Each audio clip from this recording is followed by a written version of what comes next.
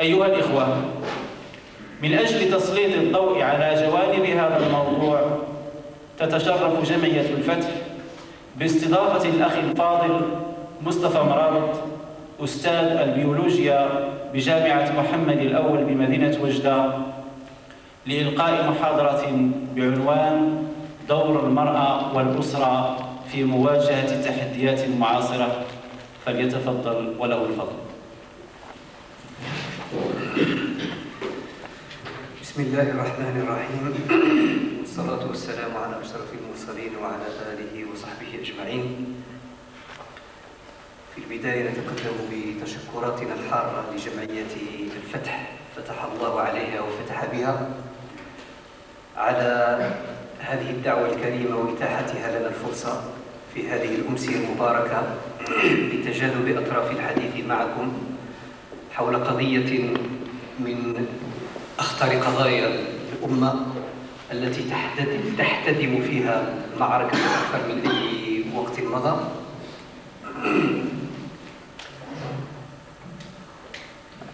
لا شك أن الأمة عرفت في تاريخها الحديث والمعاصر مجموعة من التحديات هذه التحديات تتسم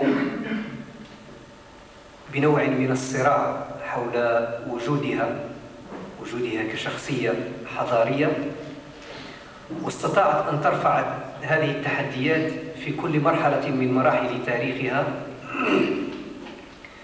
بفضل رجالات النهضة والإصلاح منذ العصر الحديث. أي منذ سقوط الحضارة الإسلامية وصعود الحضارة المعاصرة الحضارة الغربية ولكننا نلاحظ أن هذه التحديات رغم هذه المواجهة ورغم استنهاض قوى الأمة في شتى المجالات لا تزداد مع الزمن إلا حدة وقوة وعنفية. ونحن نودع الألفية الثانية الميلادية نحس بأننا دخلنا منعطفا من هذه التحديات. قد يأتي على الأخضر واليابس.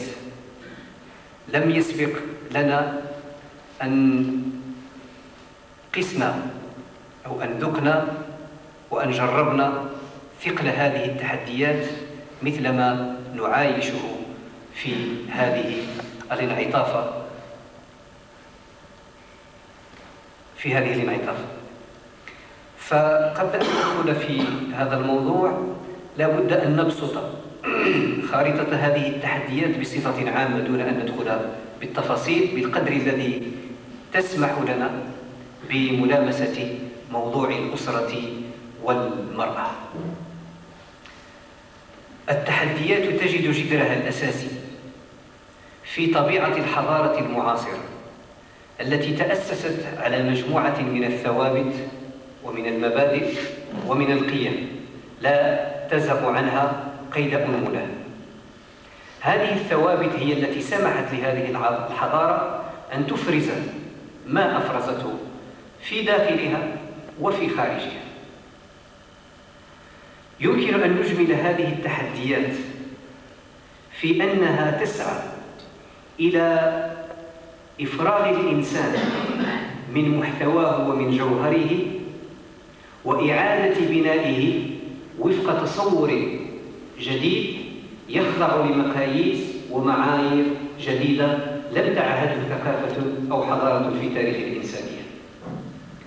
ذلك أن هذه الحضارة عندما التقطت هذا الإنسان في أبعاده في أبعاده المتنوعة البعد المادي والبعد الفكري والبعد الروحي والبعد النفسي في أبعاده المختلفة فككته إلى أجزاء متناثرة ثم حاولت أن تعيد بناءه وفق نموذج ومقياس واحد والمقياس المادي الواحد. بمعنى أن هذه الحضارة تسعى إلى اختزال الإنسان في بعده البيولوجي والإنسان هو الكائن الوحيد من الكائنات الحية الذي يتميز في كونه قادر على أن يتمرد على قانون البيولوجيا وقانون الغرائز. هذا التمرد وهذه القدرة على ضبط والتحكم في القوانين البيولوجية هي خاصية إنسانية. لم يكن بالإمكان للإنسان أن يحقق هذا الأمر إلا بعد أن زود بقدرات هائلة مكنته من بناء نظام مقابل النظام البيولوجي. هو الذي سمح له من أن يرتفع أو ينتقل من مرحلة البيولوجيا إلى مرحلة الإنسان. هذه هذا الانتقال نطلق عليه مفهوم الأنسنة. أن الإنسان حقق أنسنته عندما غادر موقع الموقع الذي يشترك فيه مع الحيوانات الأخرى. فمرحلة الموقع والدائرة البيولوجية هي دائرة يشترك تشترك فيه كل الكائنات الحية. إلا أن الكائنات الحيوانية مثلا لا تستطيع أن تشد ولا أن تتمرد عن القوانين البيولوجية بل حياتها وبقاؤها مرتبط بمدى احترامها لهذه القوانين البيولوجية.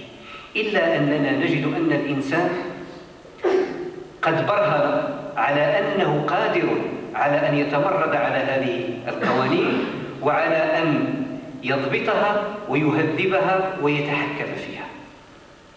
فالحيوان محكوم بأوقات معينة للأكل والشراب والإخصاب لا يمكن أن يحيد عنها. فإذا حاد عنه فإذا حاد عن هذه الأوقات المعينة لتلبية رغباته وغرائزه فإن الموت أو انتهاء حياته تنتظره في حين أن الإنسان يستطيع أن يهذب ويضبط ويكبت ويتمرد على هذا القانون فيستطيع أن يأكل متى شاء وأن يشرب متى شاء. وفترة إخصابه لا تتحدد بيولوجيا إنما تتحدد وفق رغباته ووفق قدراته. هذا الجانب هذا البعد الذي سمح له بأن يتميز عن الإنسان سمح له من خلال نظام آخر غير النظام البيولوجي هو النظام الثقافي. فالثقافة هي التي سمحت للإنسان أن ينتقل من مرحلة البيولوجيا إلى مرحلة الإنسان. فإذا كان الحيوان واحدا من حيث الوصف البيولوجي الذي يحدده في مجموعة في مجموعة من المظاهر الخارجية العضوية والعلاقات الكيميائية والفيزيولوجية فإن الإنسان لا يتحدد وفق قاعدة البيولوجيا. لأن الإنسان ليس أعضاء أو مظاهر خارجية لا يتحدد من خلال مجموعة من الأعضاء أو من خلال مجموعة من العمليات الكيميائية والفيزيولوجية. بل الإنسان أكثر من هذا. الإنسان أكثر من هذا. لذلك تجدون تجد تجدون في ما يخص الإنسان هناك دائرتان تتقاسمان الدائرة الأولى هي الدائرة البيولوجية التي يلبي فيها رغباته البيولوجية ويشترك فيها مع الحيوانات الأخرى. والدائرة الأخرى هي الدائرة الثقافية التي يحقق فيها أنسنته أي بعده المتسامي والمتعالي الذي لوحظ أنه في تاريخ الإنسان أن الإنسان لا يعتبر نفسه إنسانا إلا إذا أنكر الحيوان الذي بداخله. فتجده يضفي على كل سلوكاته وممارساته بعدا ثقافيا ولا يرضى أن يلبي رغباته أو أن يخضع لغرائزه كما هي وكما يلبيها الحيوان. فالحيوان عندما تشتد به يشتد ضغط الغريزة غريزة الجوع تجده يبحث عن كل الوسائل وعن كل ويستنفر كل قواه وقدراته العضلية والذكائية لتلبية رغبة غريزة الجوع.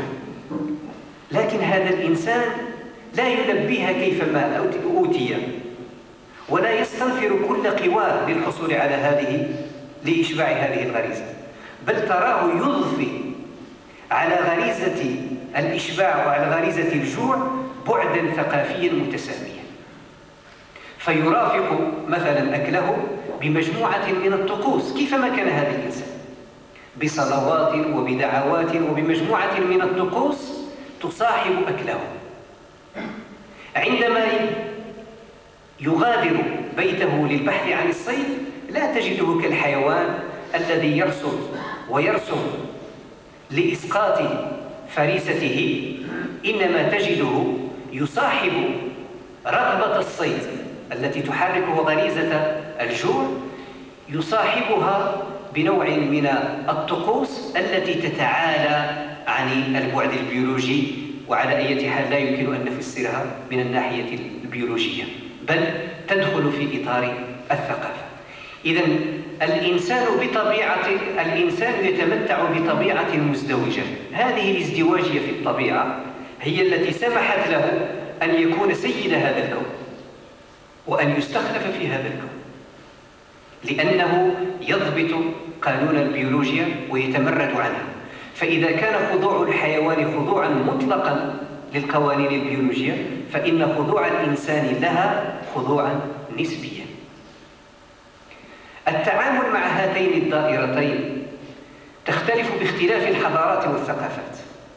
فمن حضارة ألغت البعد المادي في الإنسان بمعنى قطعت الإنسان عن الدائرة البيولوجية فأنكرت غرائزه وألغت حاجياته المادية وكبتتها ولم تعترف في الإنسان إلا في بعده المتسامي في الدائرة الثقافية.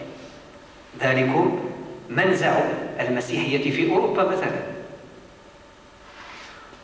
ومن حضارة أو من ثقافة ألغت البعد المتسامي في الإنسان وقطعته عن هذا عن هذه الدائرة الثقافية وحفظت للإنسان واعترفت, واعترفت بالإنسان في دائرته البيولوجية المادية. أي لا تعترف بالإنسان إلا من منظور البيولوجيا وما يخرج عن البيولوجيا ما تحدده البيولوجيا لا تعترف به. ذلك منزع الحضارة المعاصرة. الحضارة المعاصرة سعت منذ بدايتها إلى إعادة إنتاج الإنسان وفق هذا المنظور قطعه عن الدائرة الثقافية وحصره واختزاله في الدائرة المادية البيولوجية. وهو ما عبر عنه أحد فلاسفة الألمان يربير ماركيوس بالإنسان ذي البعد الواحد. ولد هذا الإنسان مع ظهور هذه الحضارة المعاصرة. هذا الإنسان ذي البعد الواحد هو الذي ستحمله هذه الحضارة لتبشر به بقية العالم وتقدمه كنموذج لكل الكون. هذا الإنسان ينظر إلى إليه ككم اقتصادي وظيفته الإنتاج والاستهلاك. ولا يهم الحضارة في هذا الإنسان إلا جانب الحواس فيه والغرائز. فتخاطبه وتنتج له وتصيغ له الثقافة التي تؤطره من هذا الجوانب أي تشبع حواسه وغرائزه فقط. لأنها لا تعترف إلا بالبعد الواحد. هذا الإنسان الذي كما قلت هو الذي حملته الحضارة المعاصرة إلى العالم وجعلته نموذجا تبشر به الثقافات الأخرى سنحاول أن نرصد تمظهرات هذه الفلسفة على مستوى المجتمعات الأخرى وبالخصوص على مستوى مجتمعاتنا. بما أن هذه الحضارة ذات منزع عالمي تريد أن تهيمن على كل البشرية فلا شك أن هذا النموذج هو الذي سيعتمد كقالب يصاغ فيه الإنسان على مستوى الكرة الأرضية بأكملها.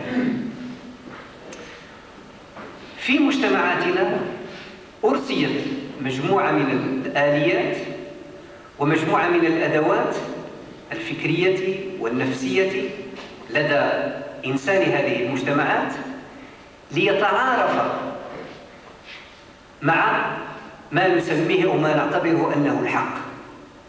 وهو ما أسميه بالأداة الشفرية. كل حضارة تبني لدى إنسانها أداة شفرية يتعارف ويتعرف على خطاب هذه الحضارة ويتفاعل معها. في مجتمعاتنا أرسيت هذه الأداة الشفرية منذ انطلاق الحضارة الإسلامية.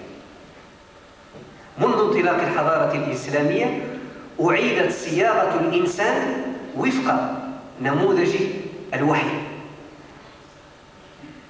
فاعتبرت مرحلة النبوة مرحلة تأسيس للأداة الشفرية. عندما سئل أحد الصحابة عن الكيفية التي كان يربي بها الرسول صلى الله عليه وسلم أصحابه فأجاب كان يفرغنا فيملأنا. كان يفرغنا فيملأنا. عملية الإفراغ. وإفراغ الإنسان من رواسب الجاهلية وملئه برواسب الوحي. لذلك تشكلت هذه الشبكة الفكرية والنفسية والروحية لدى إنسان هذه المجتمعات تسمح له بأن يتعرف على خطاب الفطرة الذي يسميه الإسلام بخطاب الفطرة.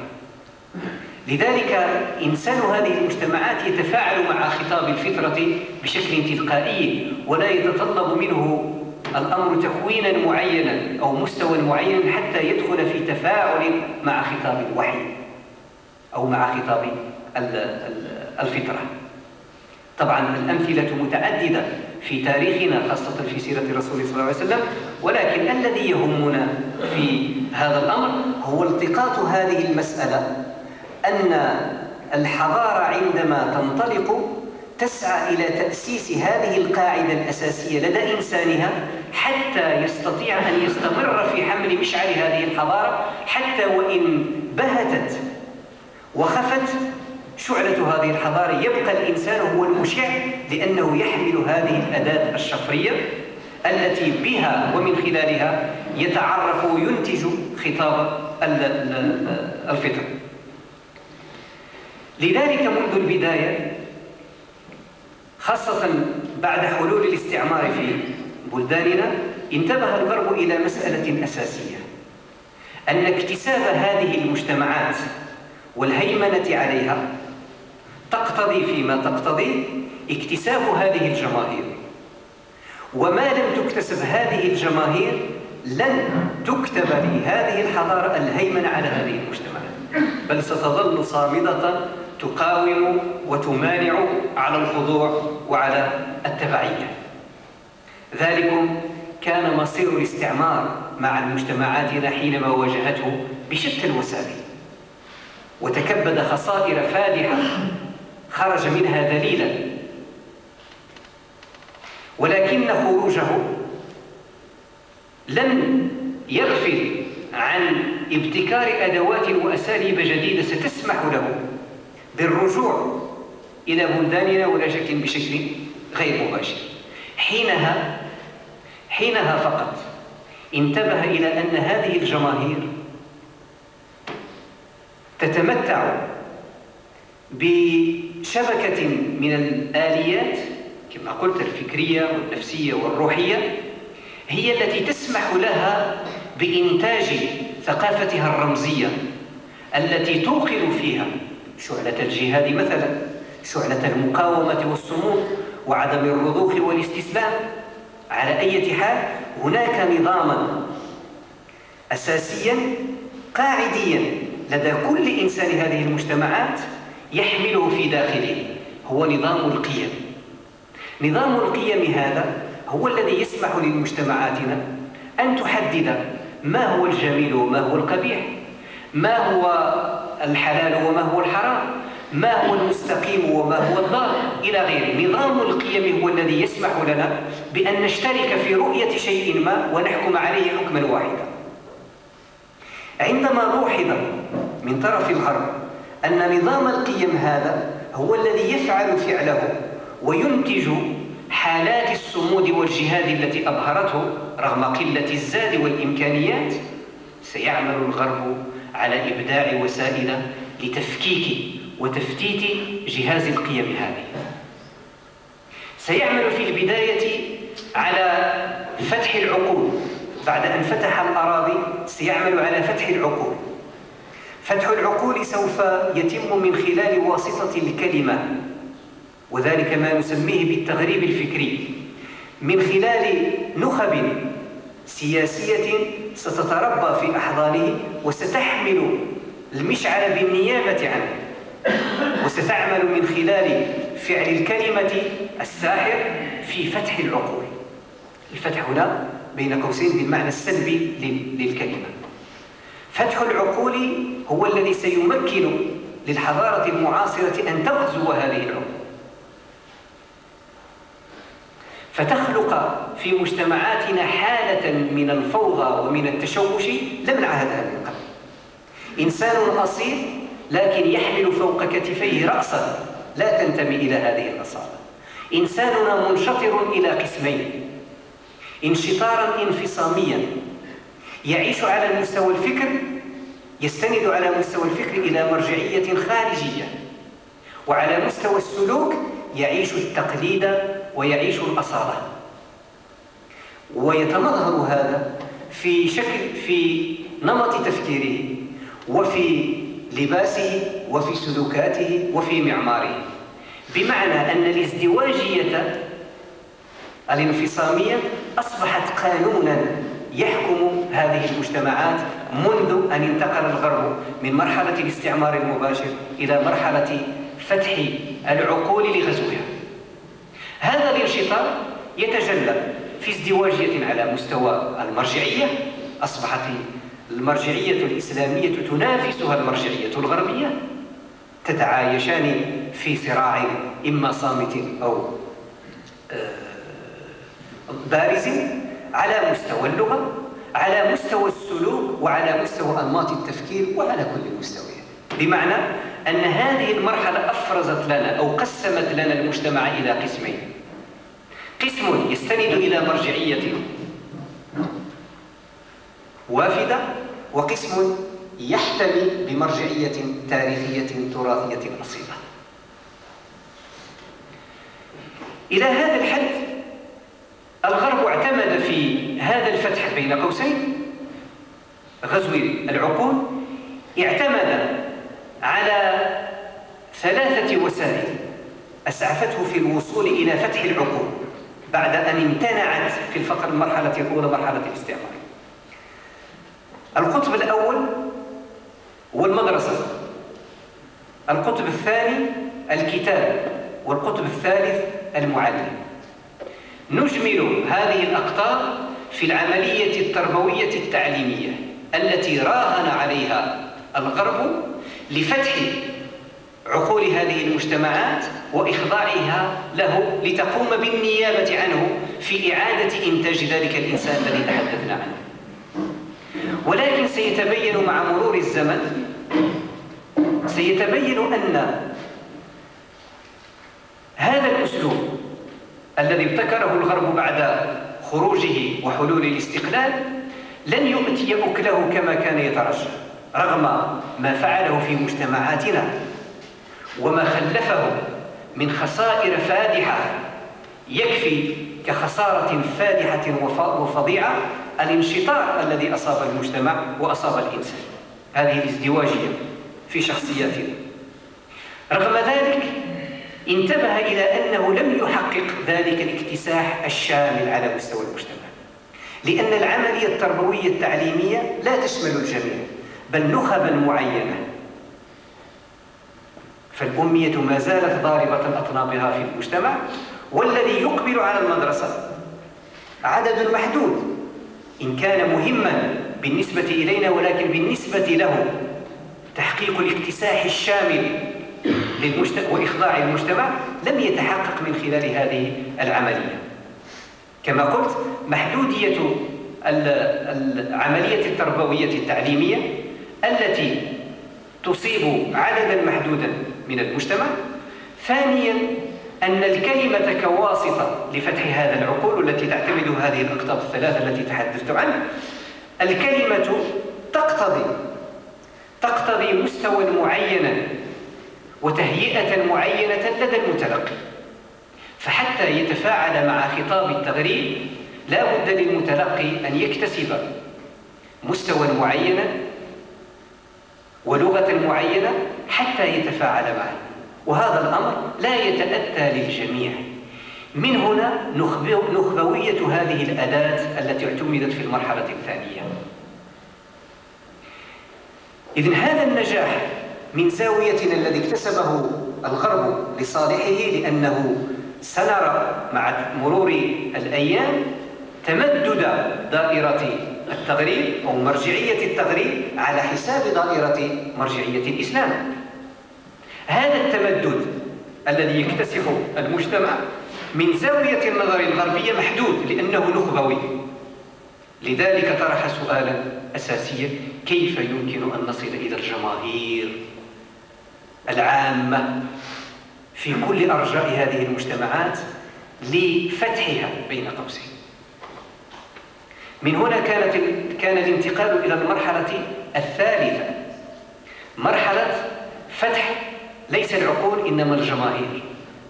وإيجاد أداة أخرى التي لا تقتضي مستوى معينا ولغة معينة عند المتلقي كما تقتضيها الكلمة. فكانت الوسيلة التي توسل بها الغرب في المرحلة الثالثة هي وسيلة الصورة بواسطة الإعلام مؤسسة الإعلام. فالصورة هي الواسطة الجديدة التي سيسعى الغرب من خلالها إلى فتح هذه الجماهير.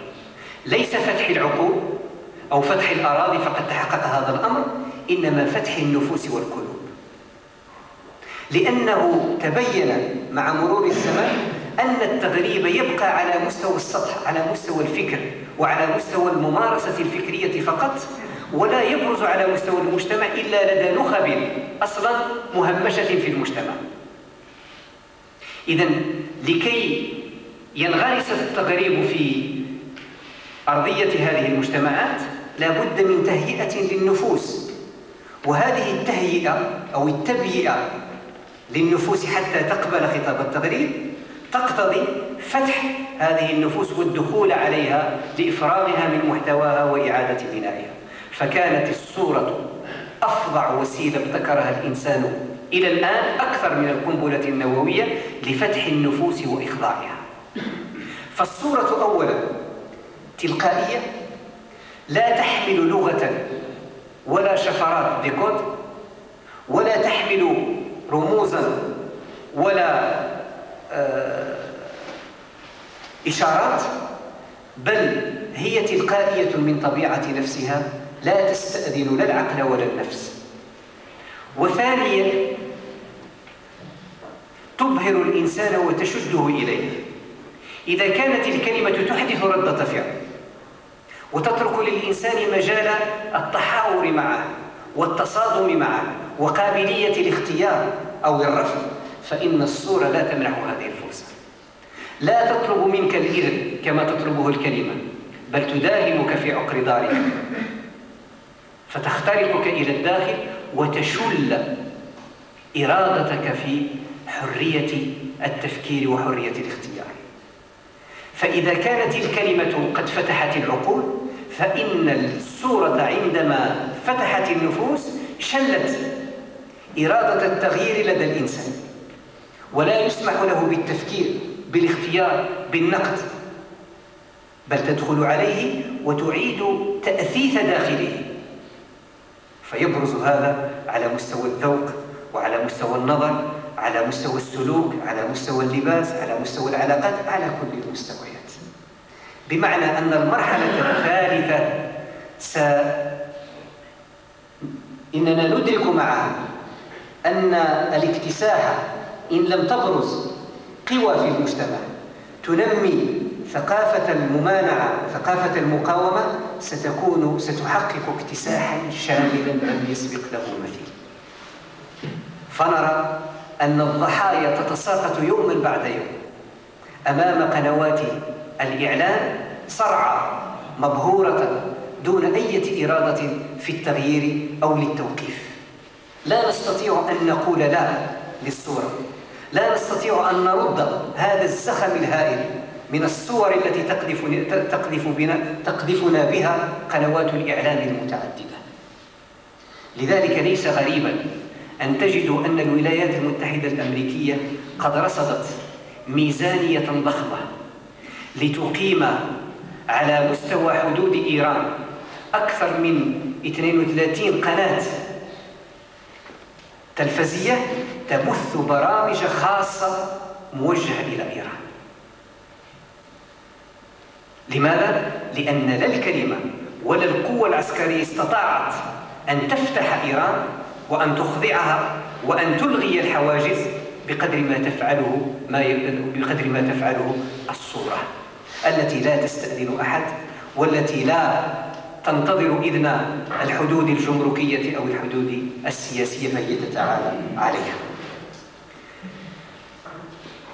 لماذا هذا التقديم عن هذه المراحل التي اقتضاها التغريب حتى يدمر حتى يفتت كيانات المجتمعات؟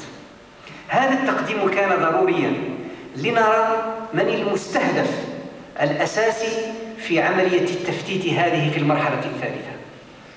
في المرحلة الأولى في المرحلة الأولى مرحلة الاستعمار كان الاستهداف هو الأشياء والأجساد. الأشياء هو نهب خيرات هذه البلاد. والأجساد إبادة هذه الشعوب أو إذابتها في مشروعها. في المرحلة الثانية المستهدف هو العقل الذي ينتج الفكر وينتج التصور. في المرحلة الثالثة المستهدف الآن هو الأسرة المرأة.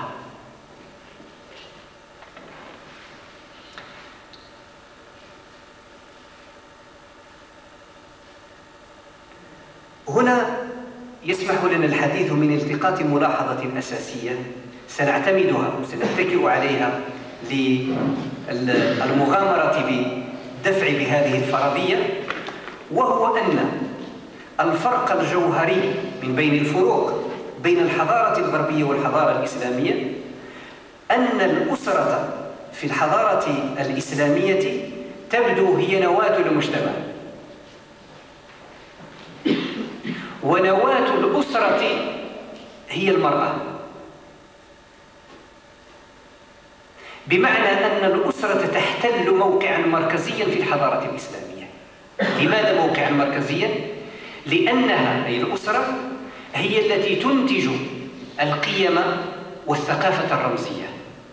وبالقيم والثقافة الرمزية تصنع شخصي الشخصية الحضارية للإنسان. وإلا لكنا متساويين على مستوى العالم. من الذي يصنع شخصيتنا الحضارية؟ هي تلك القيم والثقافة الرمزية. والذي ينتج القيم والثقافة الرمزية هي الأسرة. هناك أداتان أساسيتان في إنتاج القيم والثقافة الرمزية. الأداة الأولى هي الأسرة والأداة الثانية هي المدرسة التي أشرت إليها. الأسرة هي التي ترضع الأدوات التي يبدأ بها الطفل ينتج هذه القيم والثقافة الرمزية بشكل فطري. والمدرسة تكمل هذه المهمة لتقوم بعملية بعملية ترشيد.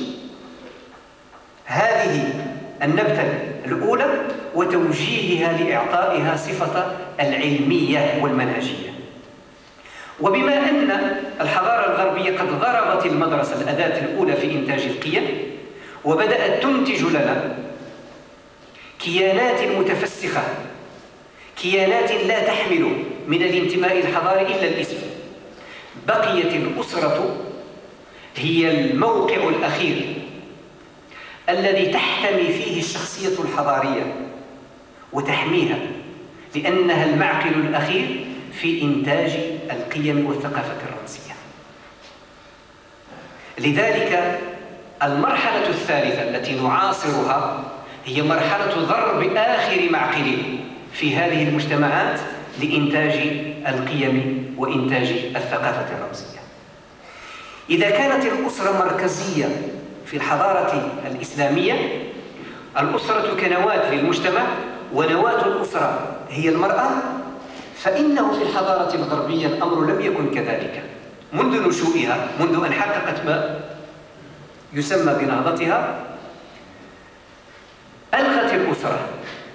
إن لم تلغيها اعتبرتها ثانوية. الذي احتل محل الأسرة كحلقة مركزية في بناء المجتمع هو الدولة الأم. بمعنى إذا كانت الأسرة في مجتمعاتنا هي التي تنتج هي التي تنتج الثقافة الرمزية والقيم فإنه في الغرب الدولة الأمة هي التي تنتج القيم والثقافة الرمزية هي التي تنوب عن المجتمع.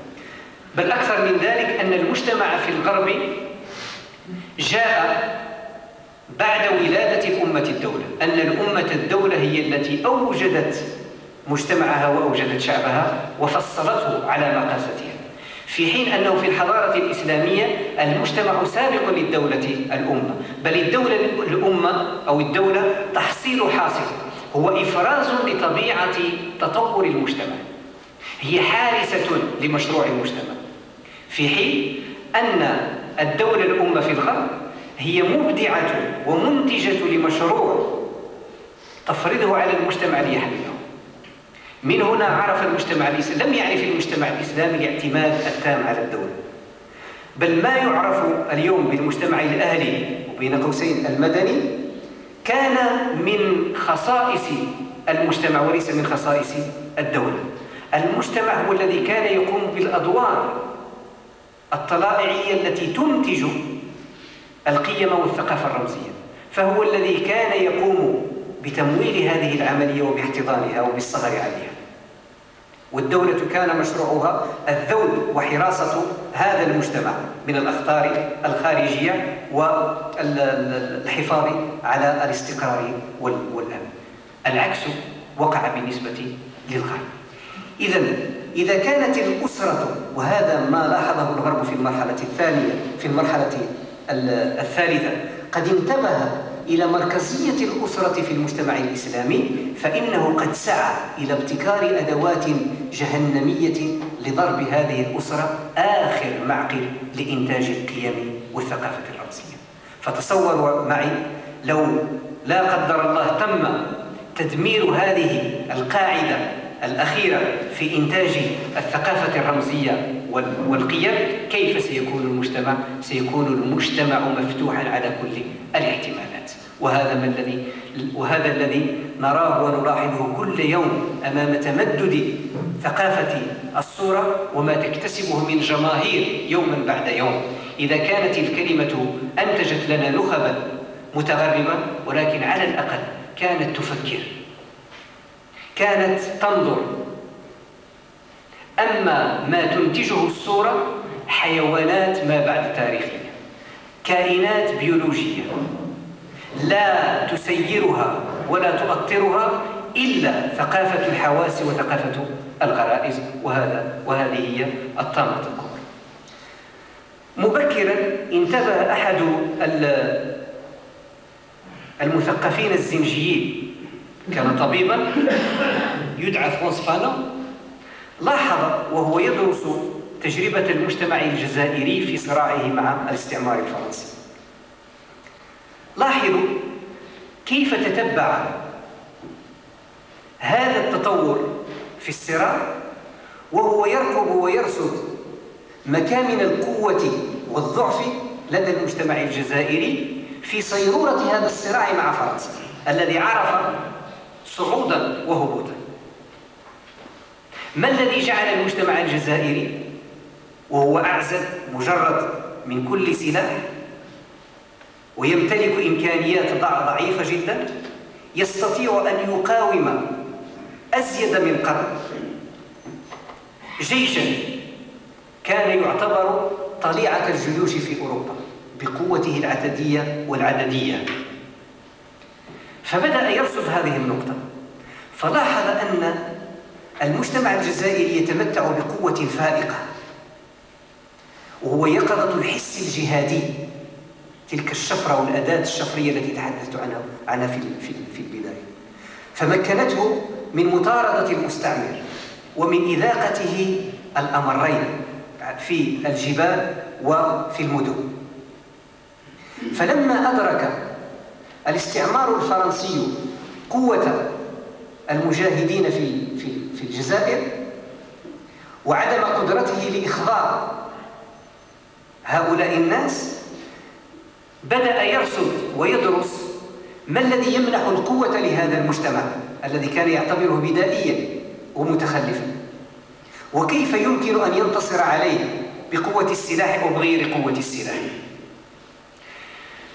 فلاحظنا دور المبشرين والمثقفين في رصد ودراسة المجتمعات مجتمع الجزائر من الداخل. فلوحظ أن قوة المجتمع الجزائري والمجتمعات الإسلامية بصفة عامة القوة تكمن في المرأة. وأن الرجل يستمد قوته من المرأة. أن المرأة تشكل القاعدة الخلفية اللوجستيكية بين قوسين التي تمده بالأسلحة التي بها يفتك بالمستعمر. فلاحظ أن المرأة ليس كما كان يعتقد أنها مهمشة ومطوق عليها داخل البيت ووراء الحجاب. هي كائن ملغي وهامشي بالعكس إن قوة الرجل الجزائري تكمن في قوة المرأة إلى درجة أننا نجد فرانس فانو يسمي المرأة لاحظوا مستودع الأسلحة لماذا مستودع الأسلحة؟ لأن قوة الرجل يستمده من المرأة هي التي تمده بالسلاح الذي به يقاوم وذلك الذي قصدناه في البداية أن الأسرة ونواتها المرأة هي التي تنتج القيم والثقافة الرمزية. وإنتاج القيم هي السلاح الذي يعبئ الإنسان فتتساوى لديه الموت والحياة. ويعتبر الجهاد ضد الغازي ليس فقط واجبا إنما فرضا. فيقول فرانس فانو أن أنه طبعا يسرد